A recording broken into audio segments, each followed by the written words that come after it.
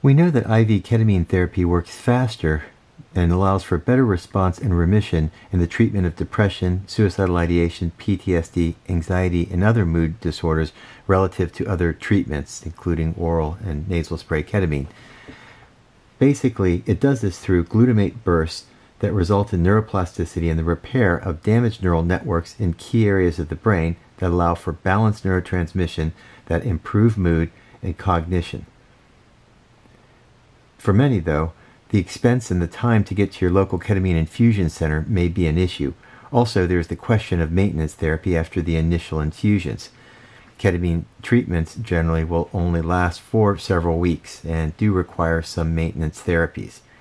At home ketamine therapy is safe and effective in producing relief from depression as well as maintenance of mood in between ketamine infusions. Options for at home ketamine therapy include ready to dissolve tablets, which are chalky, explosive little ketamine tablets that rapidly dissolve under the tongue to release their dose. This has an advantage because of not just rapidly dissolving, but also because the medication is released quickly and enters the system quickly as well. Troches are another option of treatment. They are waxy and slow to dissolve. They take several minutes to release their medication. Just as in the ready to dissolve tablets, troches taste poorly but can be flavored to a certain extent. Both of these formulations will be absorbed by about 20% of the total medication dose over several minutes while it's under your tongue. It's absorbed in the venous plexus under the tongue itself. So if you get a 100 milligram troche, about 20 milligrams is what you're going to ultimately get over several minutes. Now, this do- dose can certainly be adjusted per your prescription and your needs. If you have no prior experience with this treatment, starting at a lower dose may be helpful to determine the clinically effective dose for you. Doses such as 25 to 100 milligrams may be used initially based on the size, weight, age, and condition being treated as determined by your physician.